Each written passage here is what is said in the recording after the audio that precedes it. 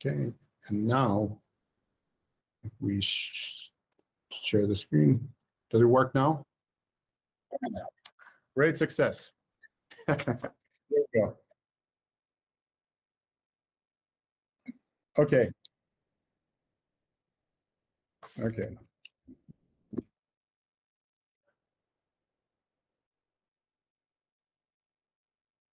Mm, no, just a second. Yes. Okay. PowerPoint.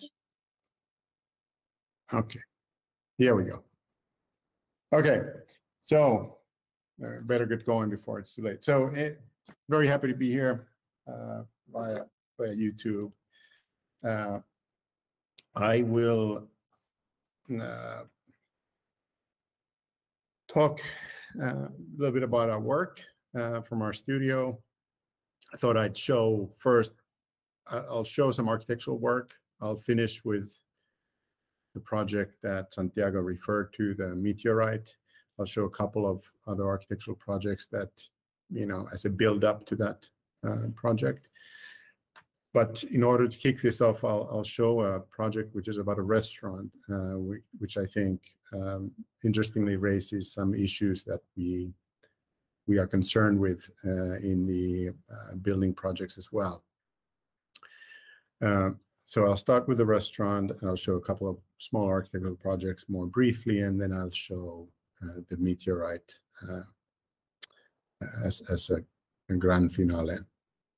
So uh, just a few words about our studio. Uh, we're based in Helsinki, but as everybody else, I suppose, after COVID, we're now split between Italy and Helsinki, uh, where, funnily enough, uh, these days a Finnish Italian studio. We have a fantastic team of people uh, from Italy working with us. My sister is placed in located in Italy at the moment, and, and, then we have a team here in Helsinki, and we're making the best of the design cultures of both of these countries in our work. Uh, for some reason, I have always uh, wanted to avoid um, sticking my like putting myself into a box of either a designer, or an architect, somebody who does residential buildings, somebody who does artworks, etc., etc.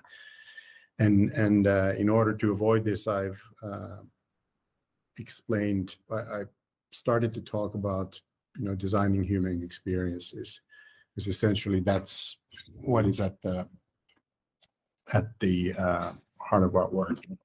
Turn that other screen away. Uh, so in order to uh, illustrate what that means in, in practice, let me show you this first project. Uh, this was a uh, project restaurant called Ultima, and uh, it was designed for a couple of Finland's best chefs. They wanted to create a circular economy uh, restaurant. And our job was to take this historical building and uh, somehow try to create an experience which would be, you know, of course, commercially successful so that the restaurant doesn't go bankrupt, uh, but would also at the same time trying to challenge people's conventions, try to um, help people rethink or encourage people rethink their relationship to food, how it's produced, how it's consumed, etc. And and uh, is an interesting conundrum because on the, on the one hand, a restaurant is there to ent entertain, take you away from the everyday reality. You don't want to go there to be lectured. You don't want to go to a restaurant to be really taught anything. Uh, and you certainly don't want to deal with the challenges of today. You go there to enjoy a nice evening with friends or your loved ones. And uh, so the, the, the challenge was to somehow within this uh, inherently commercial context, create an environment that would seduce you uh, into challenging uh, some of your conventions about food. So what we did is we created uh, a sequence of spaces, each of which was contained a different story, if you will, and that would take you deeper and deeper uh, into this experience. And a key uh, device in this uh, you know, active seduction, if you will, uh, where these objects, uh, and for lack of a better term, we call them they're like art objects.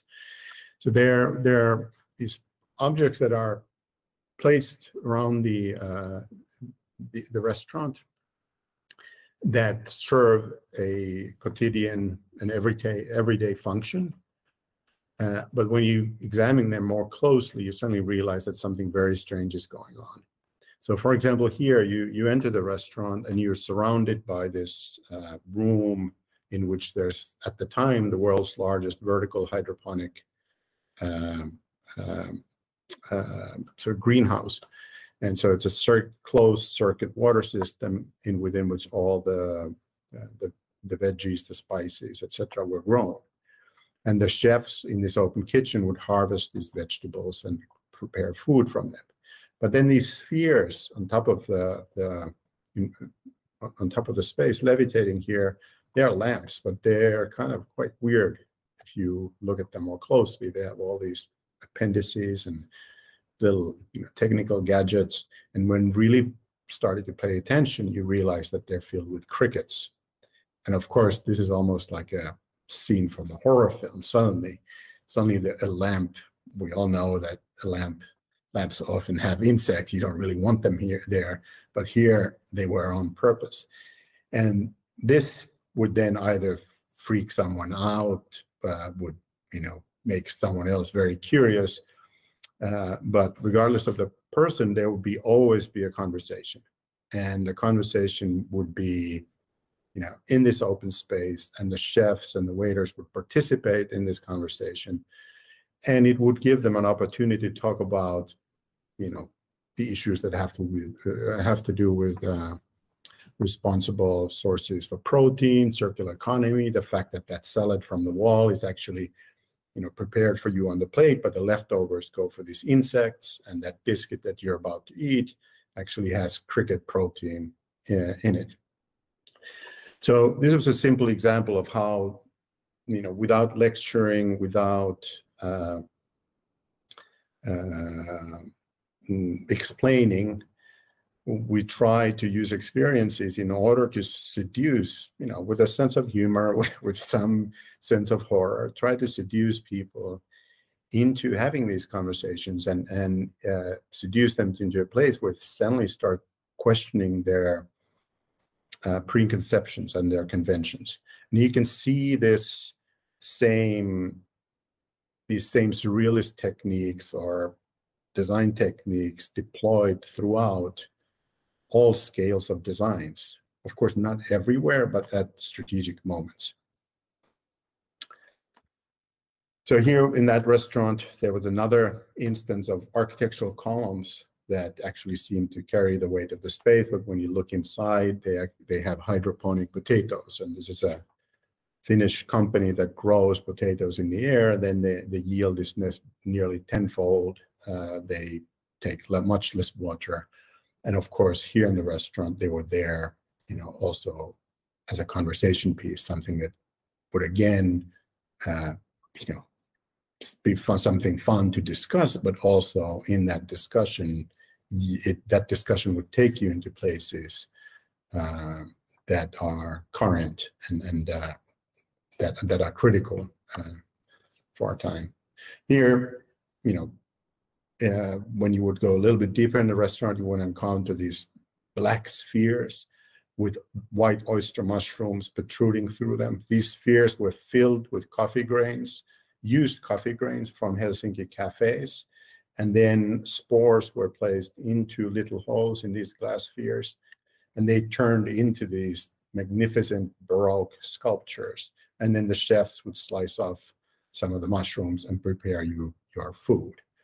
So again, uh, you know, it's it's at once just a beautiful object, but then there are layers and layers and layers of of narrative uh, which are not pushed, but that you discover uh, and you interpret differently depending on who you are. And it's this kind of uh, game of, of combining experiential design with criticality and, and aim towards cultural change, which characterizes everything that we're trying to uh, do in our work.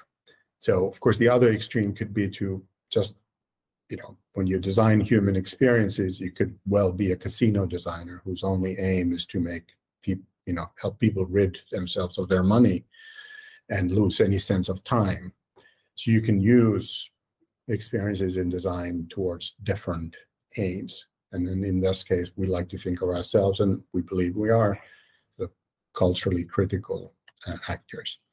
And we try to work with you know clients that share our values and share our aims. So here, as you go deep to the restaurant, you'll encounter these imaginary hybrids of plants and fungi and insects that were designed there as artwork, again, in order to help close conversation about, you know, DNA manipulation on, on existing categories and conventions. This is a flower beetle. They're all little 3D printed things. And all of this would take place in this, you know, old historical uh, building. And as you would go into the last space of the building, we, you know, hoped that all of these little triggers would have, you know, introduced almost like a dreamlike state. And by the time you go into this vaulted historical space, you suddenly realize that the architecture itself is trying to behave in an unexpected manner. And what we're trying to do is to, you know, set the mood in which you receive this unusual food from the chefs. And, and we're trying to put you in the mood where you're ready to experiment and you're ready to uh, question um, uh, your preconceptions and you're open to you know trying something new. So here you basically see some windows that were covered with these large CNC milled sculptural forms that almost like it's like playing jazz on top of the old space where these forms try to you know riff off and and uh, engage the the the you know historical architecture. And then in the middle of the space you see this thing which everybody first looks at, and, and it looks like it's something that, that's familiar from a natural history museum, a skeleton in the space. But when you look at it more closely, you realize it's actually a bunny that's jumping through space. And now we're fully in a in a dream mode. We're we're not, you know, in everyday reality anymore. And by now, you should realize that you know there's a bit of humor in all of this all of those chairs, all the tables, everything's designed by us. And, and even the chairs are designed so that, you know, it's not this monotonous repetition of, of objects that you associate with military and order, but rather a kind of humane variation. And then of, of uh, asymmetrical shapes. So there's the little tail of the bunny. And, and this, you know, game is taken from one scale the scale of the architecture to the scale of the napkin holders to the scale of little objects to hold food, uh, your uh, amuse-bouche served on a 3D print, and, and so on. So I wanted to show this project before showing some of the architectural, most recent architectural work is because it's so uh, sort of beautifully uh, makes the, the challenge clear. Uh, because it, it, it, it is a commercial enterprise that's there to entertain people and people have to be willing to go there and pay for this experience. And so how do you, how are you, how do you combine that with being culturally critical and then suggesting that people will challenge uh, some of the conventions that they've grown accustomed to? So this is this is what we try to do with our work. And so when we're working with Santiago mentioned form as a topic, and it's the name of the lecture series. Uh, uh, when we use form, it's it's always with intent, and and uh, of course underlying this, there could be many other lectures that just has to do with, for example, the set of digital techniques in design and manufacturing that makes this kind of you know customized restaurant experience, for example, possible. But uh, that's not really the, the topic of, of, of the talk today. But uh, when you look at the forms that we use, I you you should I hope that you will see how they're used strategically always uh, towards a certain effect. So I'll show now a couple of architectural projects, just briefly, not holistically. One was completed recently. One is still in completion. I don't even have really uh, good photography of, it yet, but they both introduced issues that are pertain to this uh, kind of focus of the rest uh, lecture, which is uh, the meteorite building. So the UFO is uh, is a tiny building. It's a building as an object.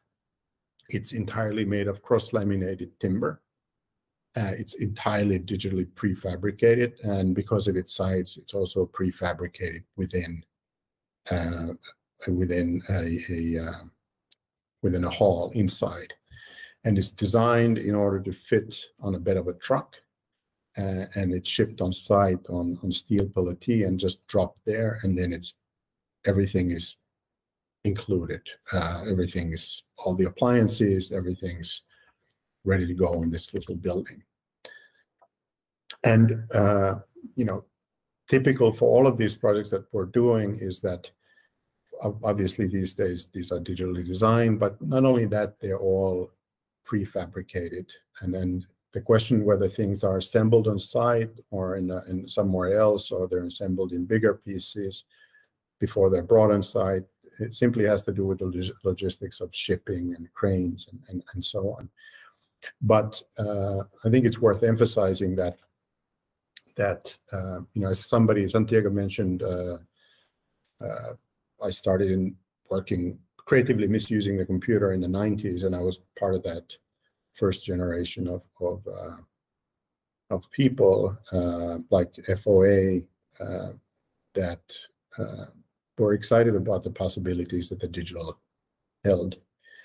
And for a very long time, uh, those possibilities had to do mostly to do with design and, and less with materials and manufacturing. Uh, or, or at least the manufacturing technologies were quite expensive.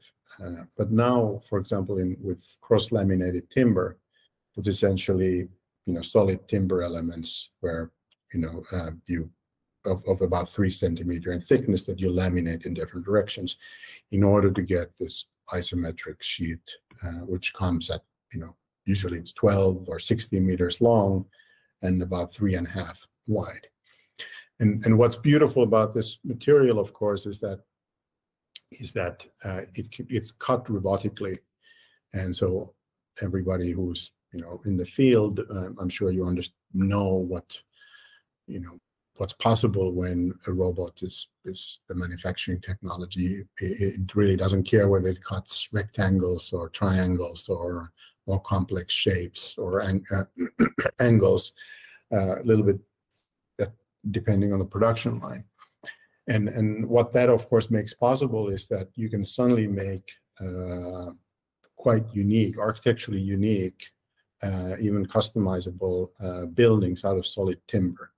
And then there's there's this uh, beautiful moment of coalescence of of, of uh, timber as an age-old construction material, especially in, in, in the Nordic countries, uh, but elsewhere as well, and and uh, and contemporary digital design and manufacturing technology, and this is suddenly making possible, you know, buildings that are have great air quality, that have great lifespan, uh, that have all of the traditional benefits of a log cabin, uh, but they're suddenly they can be formally exciting and they're open for explore, uh, experimentation and exploration, and and uh, that's why uh, for the last you know five years we've more or less exclusively now worked with wood digitally fabricated wood elements on our buildings.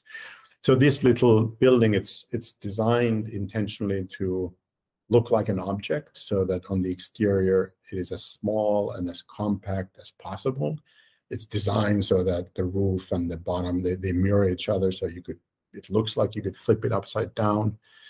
Uh, uh, it's it's uh, trying to, you know, be kind of you know have have a kind of object oriented strength to it uh, in the sense that it's not uh, taking really cues from the context, but rather it's this effect producing little object that once you enter it, it will frame the surrounding nature in a dramatic way. And one of the most dramatic things that it has is that there's a really big skylight in proportion to the building size in the middle. And you know, one of the nicest things about working with cross-laminated timber is actually glass because the unlike most timber construction, it doesn't really move that much, which means that you can use very large insulated glass elements uh, without frames, which makes it much less expensive and it makes it much more elegant to join these two materials. So suddenly you have this, this possibility of making this almost this yin-yang uh, constellations with large sheets of glass and large sheets of wood interlocking in order to produce spaces.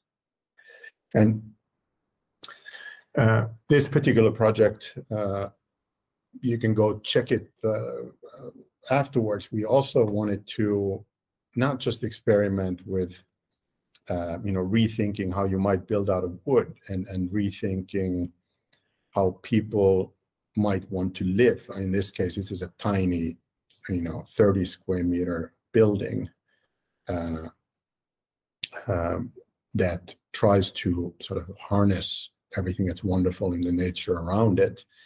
Uh, it's trying to, it, it has no other insulation except wood, as wood fiber in the ceiling.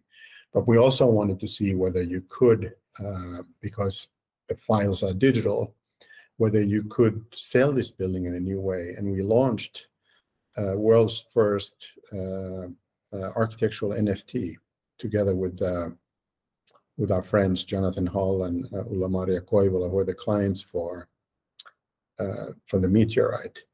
And and Jonathan has worked for a long time for Meta, and and he helped us with people from OpenSea actually devise the first architectural NFT.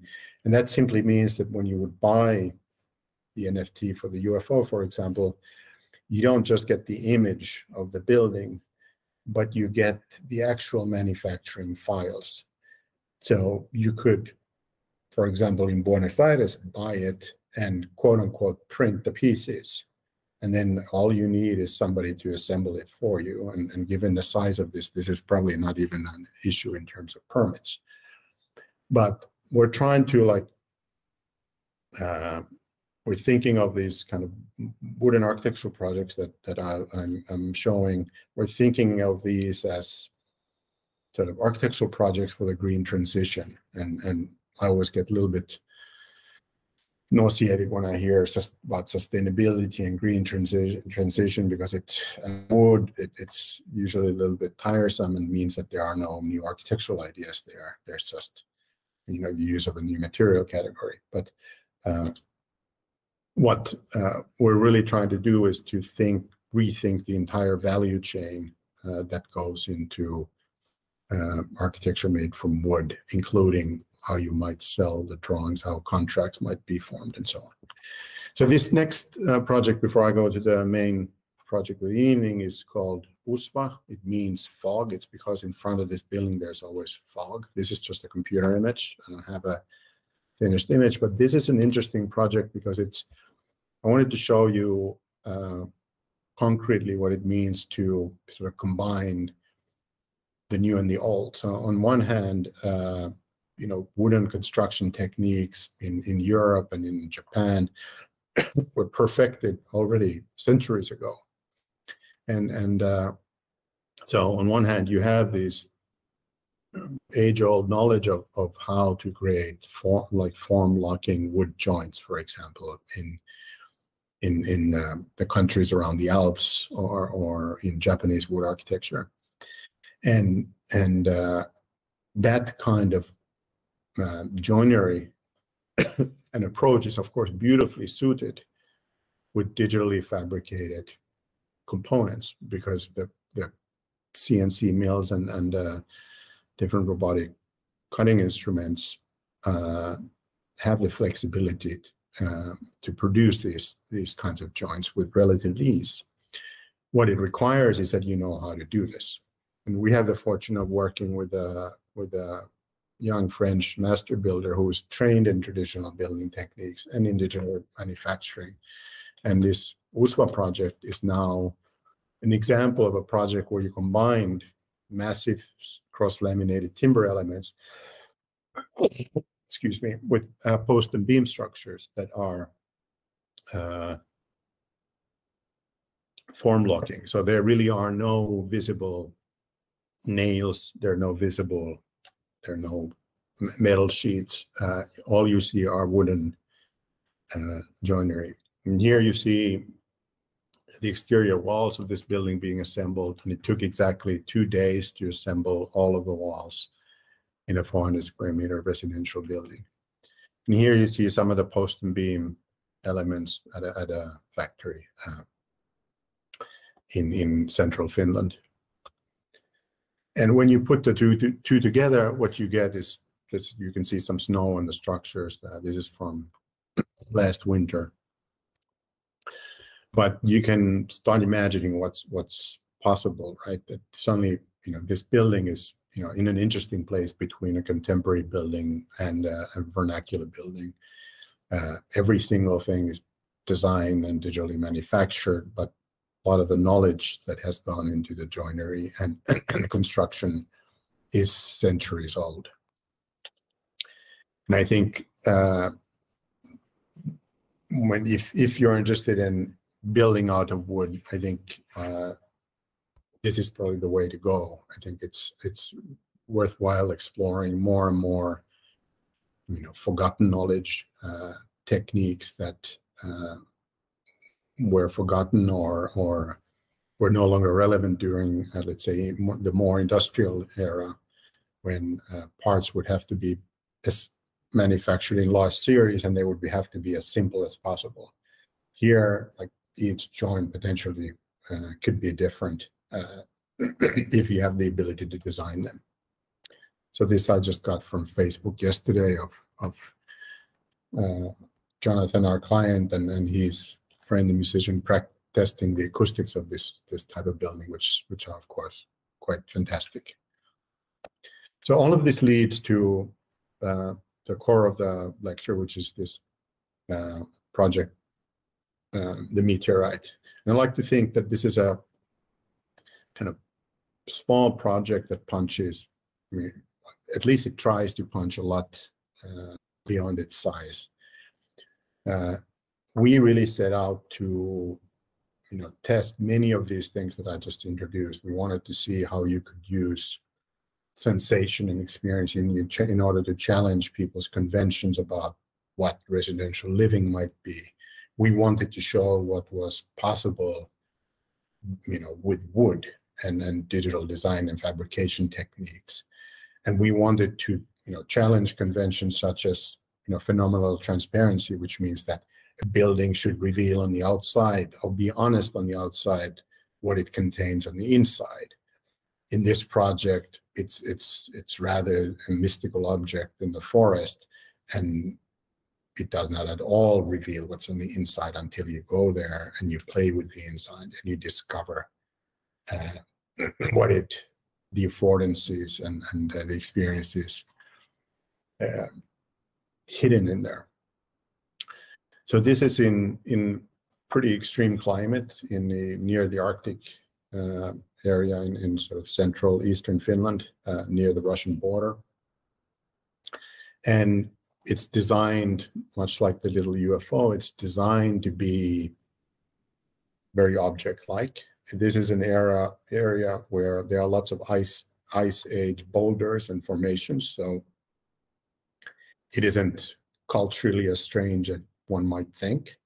Uh, it's not so unusual to see these kinds of odd, massive, uh, imposing uh, figures in, in the forest. Uh, it's you know, we try to use everything we learned about form in designing it. So every side of the building is different and it's quite carefully, for example, apertures are used so that it doesn't reveal uh, its scale or size easily unless you have a human figure there. And when you're on the outside, it operates at the scale of the environment, at the scale of the forest. And as I said, you don't really uh, know what's on the inside. But on the inside, you actually, what you get is an intricate constellation of, of boxes that are interlocked and, and open all the way to the sky. In the top of the, the atrium, if you will, there's a large uh, 10 square meter skylight, uh, creating this kind of James Turrell uh, moment, if you will. Here at the seven and a half meters, the entire floor is covered with a net, which allows you to actually suspend yourself in this in the middle of this uh, space. And as you can see, you know, there are no other materials beyond two layers of, of cross-laminated timber. This drawing is from uh, from a beautiful book, uh, the of the cover which I will show you uh, shortly. And it was not drawn by us, it was drawn by Princeton students on, on top of uh, our design. Uh, and uh, with wonderful detail, it even includes my German short hair pointer and, and Jonathan, the client's his guitar here. But you get a sense of the, the, the, the key idea here, which I have called the misfit. And the idea is that you, rather than have a, you know, an external wall, an internal wall follow one another, you just let them not fit together. And you, you create a constellation of spaces on the interior, which responds to the human body, to the scale of the object, to the scale of the guitar or the dog. And on the outside, you create another form which responds to the scale of the environment. And the misfit between the two, in this case, creates this large poché. And that poché is used for appliances, technical systems, storage, and these indentations that you see in these larger spaces. And then it's used for insulation. And actually, air circulates within this poché and keeps it dry if the outside envelope leaks from these seams, which has happened, then the circulating air will eventually dry it. And there's nothing but wood, so uh, it's it's kind of like an old boat in that sense. And here you have another uh, sequence of drawings from uh, from the book the cover of which is here. I highly recommend you get this book. It's really wonderful. Uh, has many beautiful architectural projects that all use different um, natural materials from bamboo to to uh, hemp to cross-laminated timber. But the, here you see the idea, and, and organizationally speaking, and I think I have always it's it's not like uh, I don't know if anybody else has called it misfit, but uh, the first time I encountered this idea was the losing uh, proposal by Jean Nouvel and Philippe Starck for the Tokyo Opera House, which was a black monolith with the concert halls staged as golden objects, and the space between the two, the misfit space, was the public space that you would supposedly occupy. But this kind of the expedience of this kind of diagram where uh, the inside and the outside don't match but produce a poché is you know rife with opportunity. And there are all sorts of technical possibilities uh, but most interestingly i think it affords you uh, most interestingly the uh, possibilities have to do with uh, experience so it really allows you to uh, design one experience on the outside and have that experience stage your experience on the on the inside. And in this case, you can see how the two, the inside constellation of intricate boxy forms uh, are wrapped inside the polygonal shell, and then they're connected by what we call these window tunnels. And these tunnels are so deep that you can even sleep in, in some of these tunnels. Now here, to finish off, I'll show a sequence of photography to get you a sense of what it might be to visit. It's, it's very difficult to communicate because the especially the space on the interior is, is very three-dimensional, so it's very hard to capture as in a 2D photograph, but I hope you get some uh, sense of it.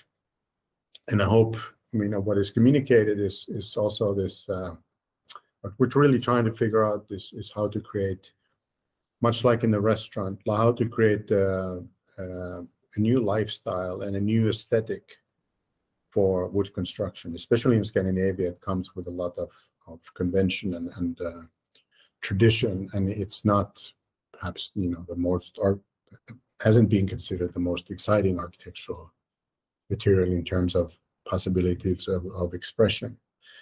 And what we're trying to do here is is of course, you know, again, you know, provoke you first by creating these strange, striking objects, but then make it inviting enough so that you would consider it you would explore it, and maybe as you have experienced it, you would come out transformed and you might think of yourself or feel differently in the world.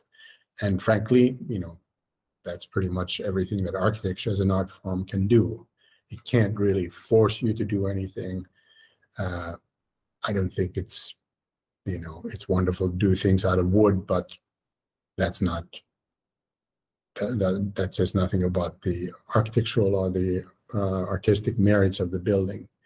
I think those are evaluated in terms of uh, the experiences that the building uh, engenders and and the kind of whether the building has uh, what one critic called cultural escape velocity, whether it captures people's imaginations and and whether you know becomes part of conversations and whether it causes people to uh, think of themselves and think of the spaces they occupy in a different way.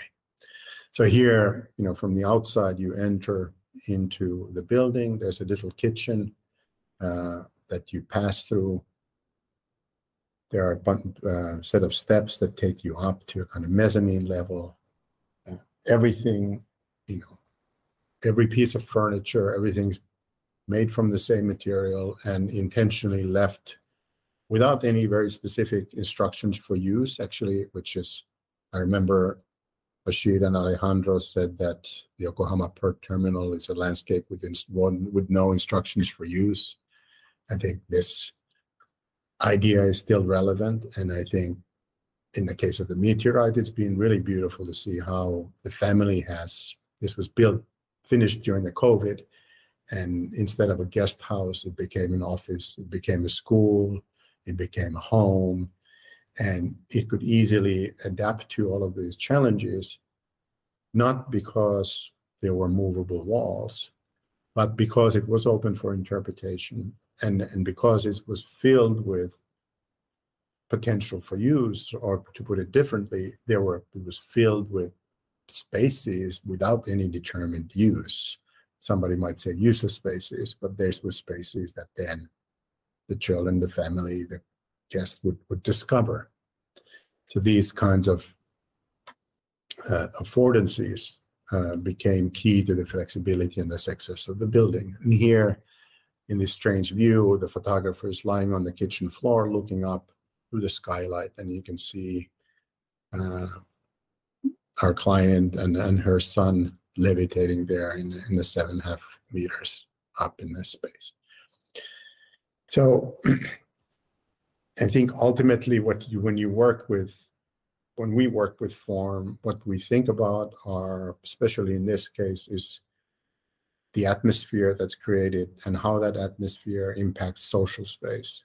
And by social space, uh, I know whether everybody knows what I mean by the term, but I simply mean uh, how it impacts life, how you know a certain atmosphere will, in a very subtle manner, make you feel in a particular way, set the stage uh, for you know social interaction, and of course, in the home, this is you know more important than anywhere. And in this case, this is a home in which all the spaces are three-dimensionally interlocked around this void. And of course, that literally means that you can talk from the kitchen up to the net from the net up to this platform here and to a third kit, which is, you know, in the window higher up there. And it literally means like a little bit like in Hitchcock's rear window that across this atrium, you can you can have your little nook or uh, and, and be there privately while observing uh, your family around. And then you can move a little bit and you can engage, uh, you know, more socially, if you will. And what, of course, this should do is to create, you know, a stage for better life, a, a stage for a different kind of more interconnected, more enjoyable, you know, family life, a, a different way of being together. And and so architecture in one way is like I like to think of you know function as a is a I like to think that function it certainly is a possibility of form as much as form is a result of function. There, when you design a form, there are always certain constraints that over-determine you can what you can work with that uh, with. But then beyond that, the more you can build in potential that uh, for interpretation, the more you can leave things open-ended, uh, the better. So you can work on the level of organization in a very specific manner, the way we did, but you can let the program be nearly completely open-ended, which was the case for the meteorite. In the program we left as much as possible for the for the clients to invent. You know, the bathroom has a shower and a toilet bowl, and the kitchen has appliances. But beyond that, how you use these spaces was up to them. Here to finish, you see some drone photography, and there's a little video here of, I think, from last summer of a friend here with a videographer and, and the family that built the meteorite. And you'll you'll also get a sense of the, the kind of setting, which must be quite different from Buenos Aires, but uh, it's just forest as far as the eye can see.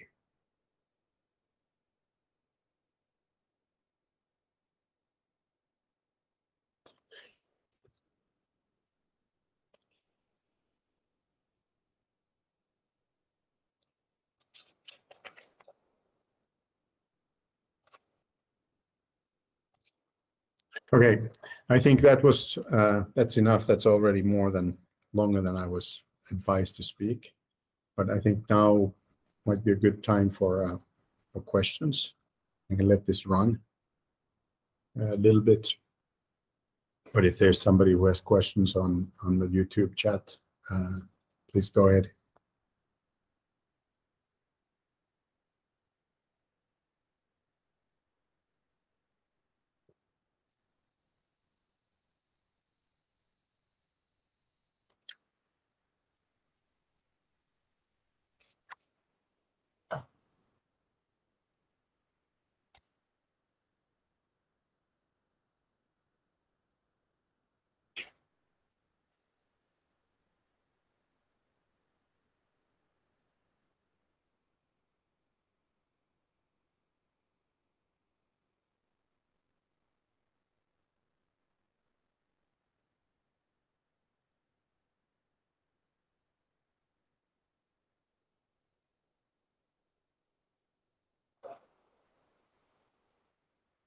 Mm.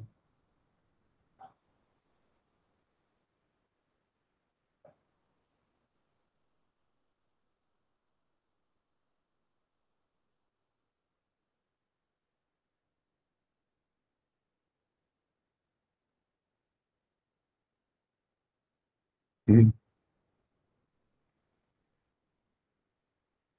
Mm.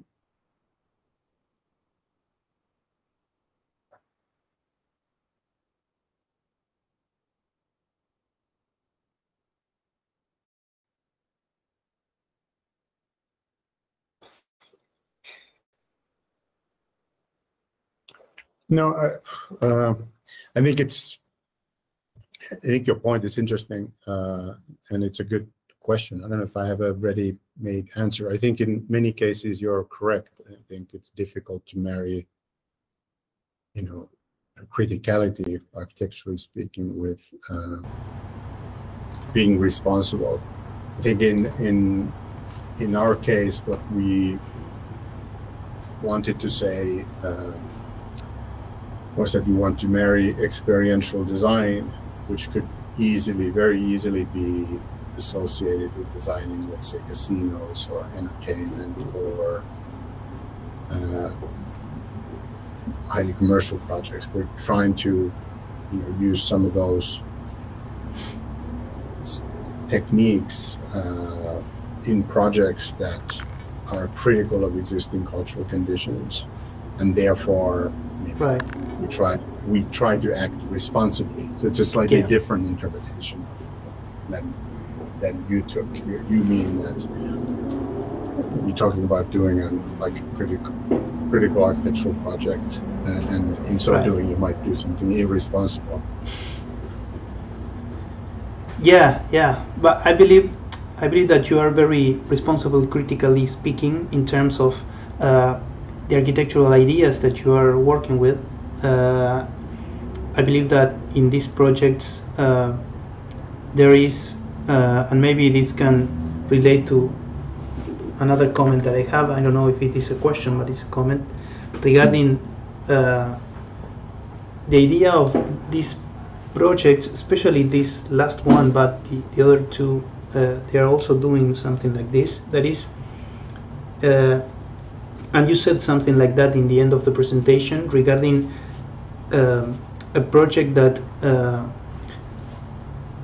involves ideas of architecture, like universal ideas for architecture.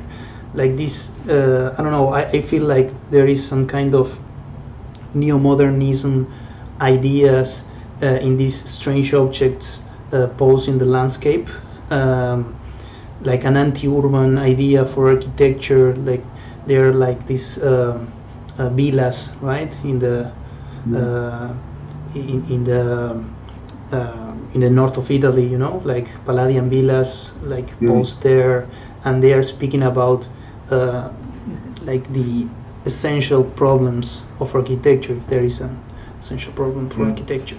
Um, is there something like that? Is there uh, an impulse to try to develop these weird objects uh, that are talking really about uh, what architecture, uh, why architecture is, is is in the world in a sense. You know?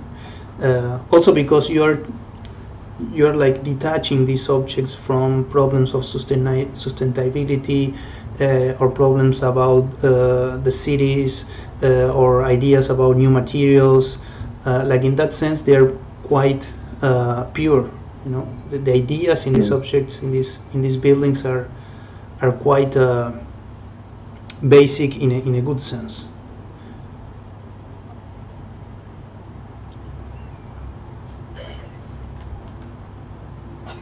Mm, um, Yes, I mean, of course, like. Uh,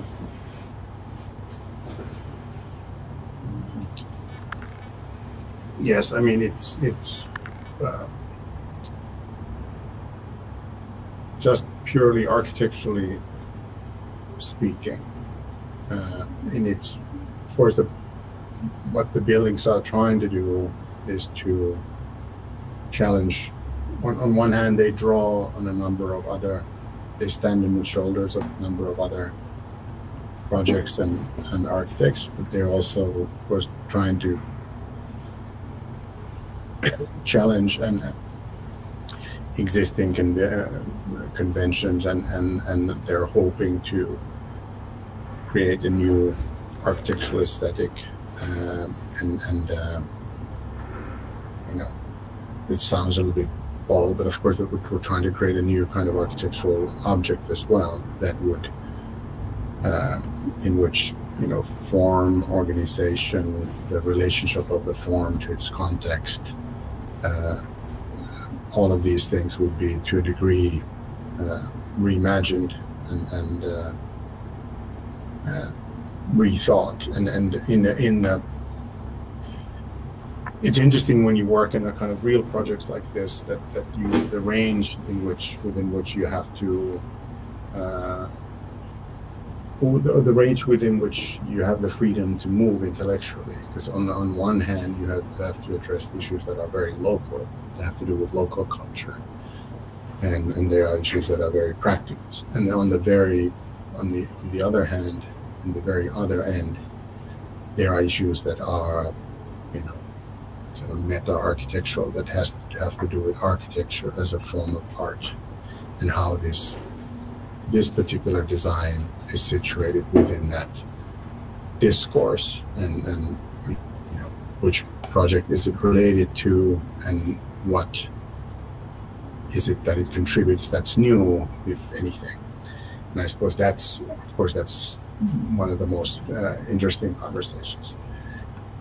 Uh, I haven't thought of the Italian Palladian villas, but that's that's interesting, and it's uh, it's interesting to see how different audiences in different places, like Buenos Aires is quite far away from here, uh, perceive the significance of the projects and the, and the kind of correlations that it creates, you know, in in the history of architecture, but also in contemporary culture. Uh, yes. Also, you mentioned like this uh, undetermined use for the spaces uh, yeah. that the villas also have. Like in, in the villas, yeah. there are rooms, but they're not specified what are they yeah. for. Um, yes.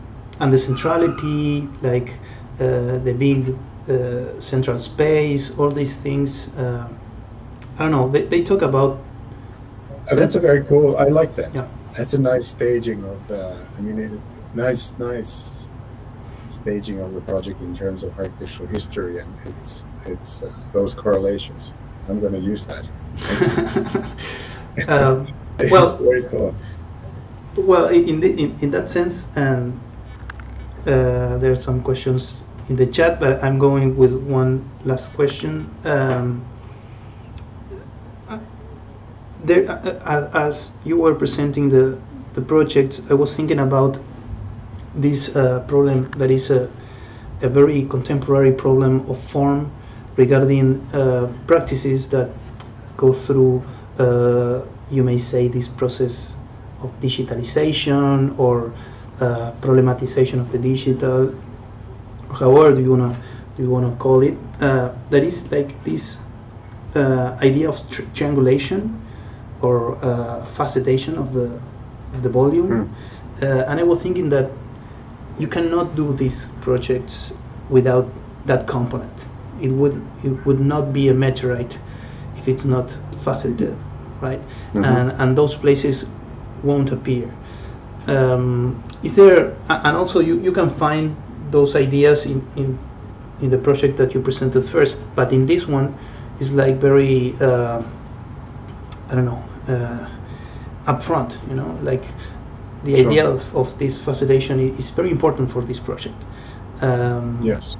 Is there a, a, a, way to deal with this, the, the idea of continued continuity or um, continuous variation or the idea of the spline or spline-like uh, geometries that were so popular uh, like three decades ago? Um, there is some kind of like uh, reimagining those geometries into this uh, triangulation or faceted mm -hmm. geometries in your work? You may say that. Mm. Sure. Like I almost want to feel like I should like pull up some of the some of the very early works that uh, we did. I think my my um, almost have to do it because it's worth sharing the screen so everybody's visual here. Let's see if you can answer your question visually speaking. Uh, this, you see my screen? Yes. This is the first competition I did in my life. This is 1997. It's the Finnish embassy in Canberra. So you'd imagine the building as not an object, but as an entirely faceted intensification of the landscape. And you know, before that, 1995, I, you can hardly see this, but it designed, couldn't, nobody commissioned a building, so designed a piece of furniture which was, was, was uh, designed as a landscape with no, with no instructions for use. And it was a hybrid uh, between folded geometries and, and curved, basically NURBS, curves-based geometries. And at that yeah. time, you couldn't really hybridize the two in a software. There were no, there was no subdivision surface modeling that will allow you to do this. So we produced a, you know, essentially a smooth surface and then introduced all of this foaming by hand. And, you know, ever since then, you know, to answer your question about, this is 1999, the New York Times Millennium Capsule competition finalist, which we did which was essentially, a, without going to the project, a, a, study of this type of formal language, which would be a hybrid between um, you know, what we call creases and, and, and curves. And uh, so I, I, have been, you know, sort of, let's say, been practicing. Uh, where did I lose my presentation?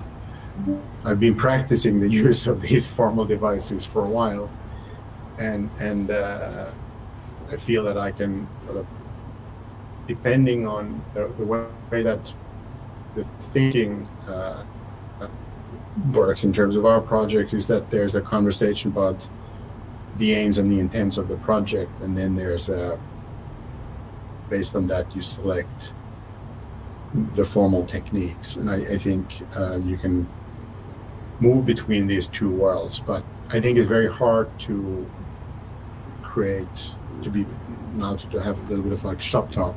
I think it's very hard to do or a kind of blob that would have this kind of uh, you know like this this the meteorite stands you know at least in this direction like a ballerina and it has rhythm and it has pose and it it, uh, it has you know sculpturally speaking tension it's quite hard to do that without any folds or creases if you just do a smooth form Right. And you're actually doing one building is entirely smooth, but but uh, these formal techniques create quite different results. But sometimes you can hybridize the two uh, also.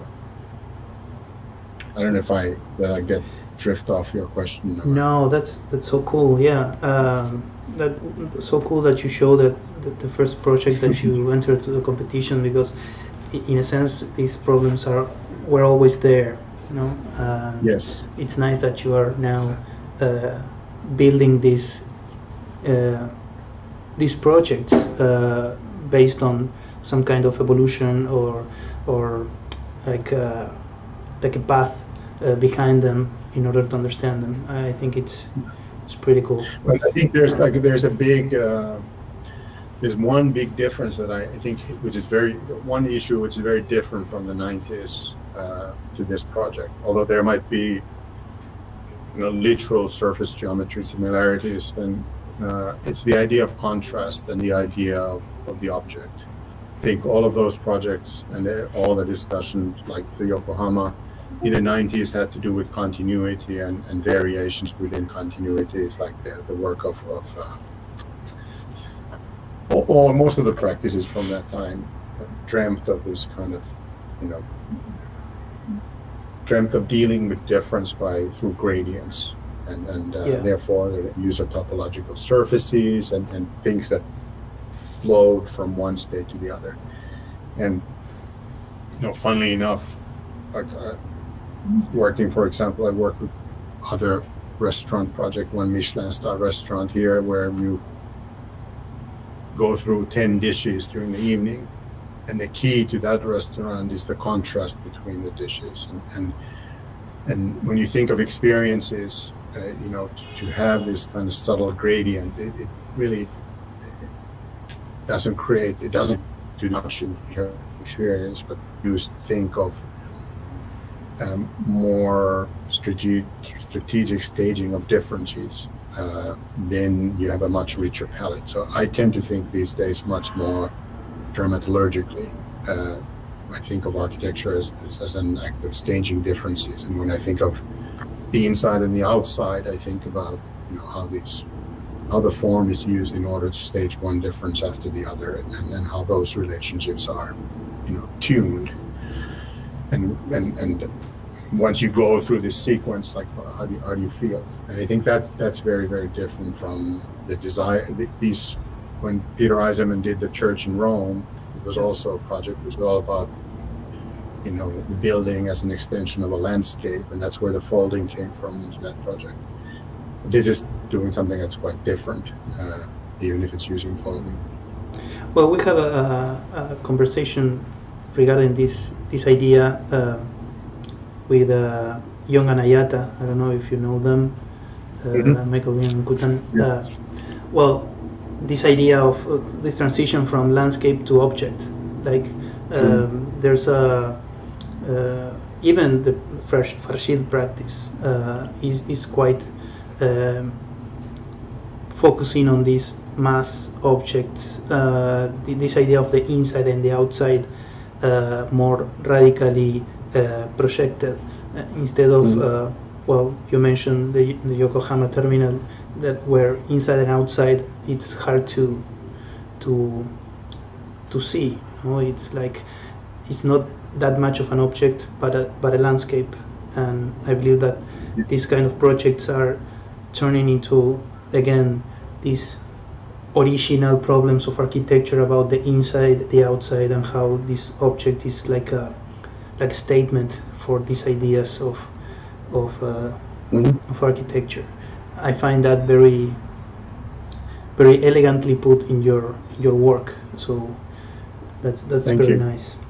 Um, well, we have uh, some questions here. Uh, I can read them to you if you Sure. If you like. Um, we have one question from uh, Maximiliano that says, uh, having developed projects at various scales, from chairs to public buildings, which issues are you specific in each of these scales and which are broader, transversal to all of them? If there is a like a, a, a, a an issue that that goes through all of yeah, these. Yeah yeah. Well, I, I, think it's the issue of, for me, it's the issue of, of uh, experience. That's why I haven't invented a better slogan than designing human experiences. Because I, I can think of knives and forks and dishes and glasses and chairs and interiors and buildings and even cities from that vantage point. And then the question would, of course, be like, okay, experiences towards what end? And that's where the, you know, criticality, I mean, like generally being culturally critical, uh, trying to intervene towards some, you know, betterment of the world and, and response, like acting responsibly. That's where these, that comes in.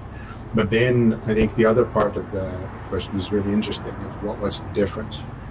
And I think, uh, there are like huge differences between uh, different scales and how, how things work. So, for example, a chair, it works almost always in repetition and it becomes something which, like people, populates the building. So, if you think of the chair from the point of view of an experience, the chairs in this space, I would always think of those chairs not as industrial objects, but as, you know, um, I think of objects in general in our in spaces like as, as ecologies. So if you look at a building interior, it, it's filled with ecologies of objects. With are there lights, tables, like different kinds of furnishings, etc. And I would pay attention to, for example, in the case of chairs, like what what kind of experience they create, and that would mean uh, that, for example, if, if you have very you know, you have a chair, all of which are in the same color, and then they're regularly organized. The associations of that are probably to like military formations or something that's not particularly, you know, soft and humane. So you might want, for some reason, you might want that kind of regimentation there. But I would be very sensitive to that. So I would uh, think of them as an architectural device at that scale. And then, of course, if there are things that are even smaller, they often become something that you touch. Uh, glasses, objects, door handles, etc. There's a different kind of sensibility uh, that has to do with your hand. The chair, of course, eventually will engage with your body. Uh, you know, furniture as far as you can, like you saw in the meteorite, we try to inbuild all the furniture. So the furniture becomes really an extension of the architecture into the scale of the body. So it's this architecture about sort of reaching out to that scale. And, and uh, but the, the difference has to do with, uh, you know, to use the meteorite as an example, the meteorite on the outside is a singularity, then on the inside, it's, you know, series of spaces that then you know, is extended to the scale of furniture. But then there are freestanding objects that you know lights and, and, and uh, freestanding chairs, etc., that work as as an ecology of objects. And then you, when you, say, do something like that restaurant that I showed in the beginning, I would think of you know these ecologies of objects and how they uh, work together and how they work in sequence and, and how they're embedded in the architecture, etc. And then you know, one of the most, just for the sake of, you have something to think about uh, for the rest of the evening, uh, I, I always think that the most sophisticated issue in terms of form to be in control of has to do with uh, representation. So, and, and that comes into play in different ways uh, depending on the scale of the, the, the objects. And, and uh, so you saw in, in the first projects how we use, we, we basically create things that belong to the ontology of sculpture, that they're suspended in the ceiling, but then suddenly we would give the same kind of treatment to serve things that belong to the uh, to the build seem to belong to the building itself, and, and we try to sort of challenge existing categories that the objects uh, belong to in this way. But you know, use what we're trying to do. What what I'm trying to do is is using all of these devices, trying to control not just the formal sensibilities and, and the affiliations, but also the kind of emerging narratives that come out of them. And this is the, what I mean by representation. So the moment you make something like the meteorite and you call it the meteorite, you're pushing the project project towards a certain you know, world of imagination. And I always found that I believe that in order to engage people, uh, it's very helpful to if you can create this kind of effect. I, I always found it wonderful when Herbert Muschamp wrote about the Bilbao by Frank Gehry that called it the Spanish Armada, the Seven Year Itch, or an artichoke, if I remember correctly, or the Marilyn's dress in the Seven Year Itch. Yeah. To create a building that, um, building or environment that has this very directed field associations, but the, none of these associations are settled, they're not obvious. So then you, then you can create this. I, I when I was um, doing more academic work, I was interested in this idea of the figure that uh, Deleuze introduced and when he wrote about Bacon and the idea that you would create an architecture that's suspended between abstraction and representation. So it, it invites interpretation but never settles into one. And the meteorite is really, for example, trying to do this, find that kind of place and, and uh, uh, where it's it's very specific, but doesn't settle into one interpretation. And so to answer the question, back to the question, I think these all of these issues are at play, but in different ways, and the different scales of objects are from the point of view experience, which ties them all together. You can use them quite uh, differently, and you can use them to address all the senses, and you can use them to address the human body at different scales uh, from the scale of the crowd to the scale of the individual to the scale of the hand.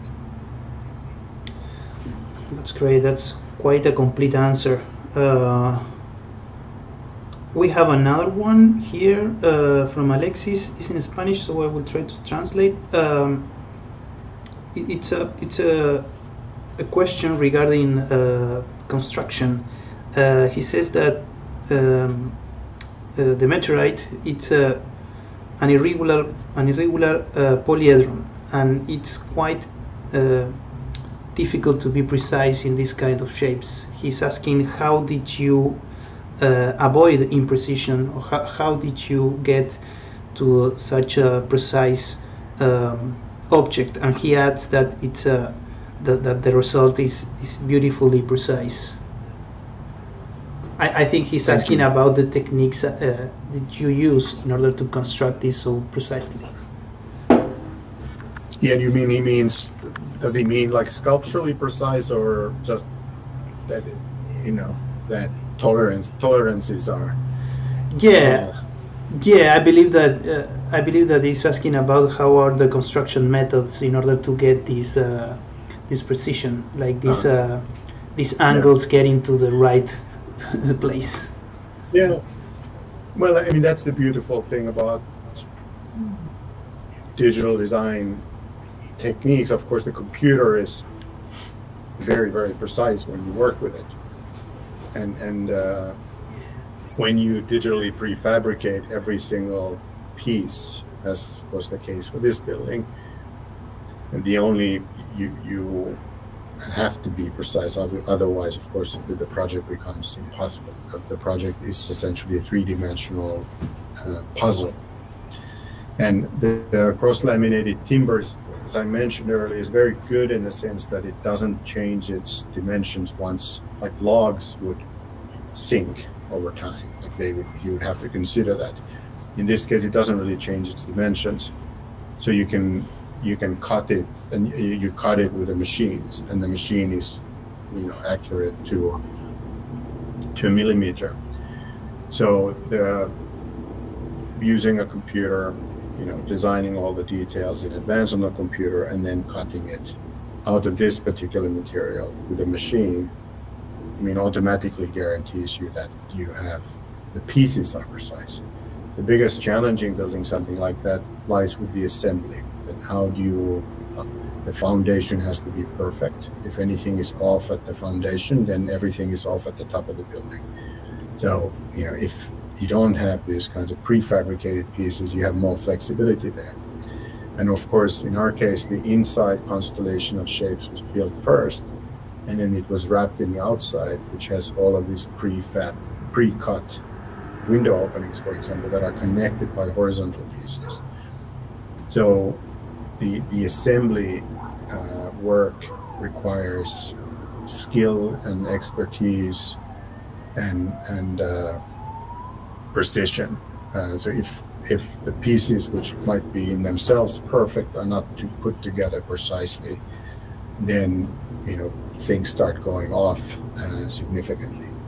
On the other hand, the, the upside of something like this is that you almost immediately you notice if there's a problem because you start building it and you see that you know suddenly there's piece that doesn't fit and you'll know that something has gone wrong and you have to go back. So you Right. it's kind of unforgiving but also instructing at the same same time. But if you were to build anything like this all of the challenges have to do with logistics and, and the on-site assembly. And they don't so if you know how to design and laser cut a model at school you're basically doing this kind of design and manufacturing work already Right. but if you ever assemble that model, you you understand what I mean. Great. Um, well, I know it's late there, uh, so I'm gonna. I I have just one more question from uh, Sure. Josefina. Uh, he says, "Hi Kivi, I understand that each type of scale entails its detail work, and that they have similarities and differences. But in which scale do you prefer to work on the most, and why?"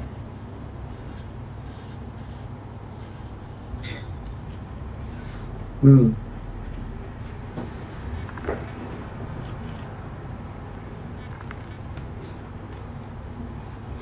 I don't know. If I knew that, I'd probably be be working at that scale. I think I, I, I It's, a it's a problem that I have. I'm sorry. I I really enjoy moving between scales and, and, and moving, you know, it's one of the most wonderful things about working in the world of design and architecture and, and refusing to kind of recognize difference or I'm not refusing to recognize difference, but I, I, in a sense, stand with Frank Gehry when he says that you know he doesn't think there's a difference between art and architecture. It doesn't mean that you don't understand that there are disciplinary differences, but that there's a certain attitude with which I approach all these scales, and I, I enjoy the the challenge of the new scale and, and of course the, the challenge of the new project. But I, lately, to, to give you some sort of answer, lately I have worked on these residential scale projects and I, let's say that I enjoy that at the moment the most because uh, in these projects, you on one hand, you, you see intimately how people will use your building.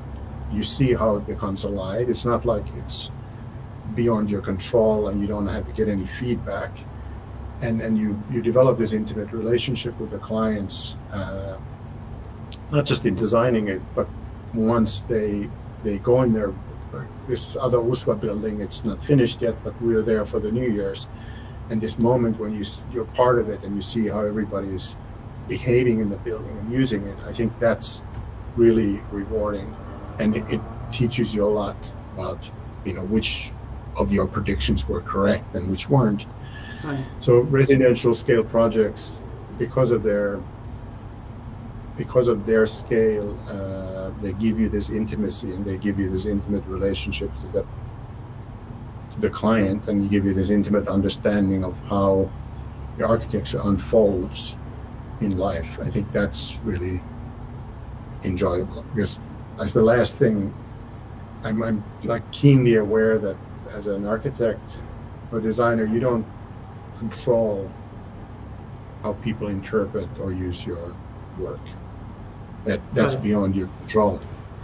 Uh, but you can. It's a kind of uh, game, and that, that's where the art really lies. And you you have some intent, and you want to create certain feelings, and you have, of course, predictions. But then at residential scale project, you actually do get to see how your audience reacts and behaves over time, and that's that's a really beautiful experience. Pretty nice. Okay. Well, uh, I guess we're we are on time uh, to finish. So I want to thank you again, Kivi. Thank you very much uh, for doing this. Uh, have a very nice time. Sorry for the technical inconvenience in the beginning, um, but I think uh, it was a, a beautiful presentation uh, what you did. Um, oh, there you are. So uh, I would love to to keep in touch and maybe do something uh, with, with this material that you present to publish it uh, here in the institute we, we love to uh, work with fresh material and bring this material to places that maybe uh, take some time for for these ideas to to uh, to flow you know uh, so uh, it would be great if we keep in touch and, sure. and do something I'd be happy this. to do so. So yeah.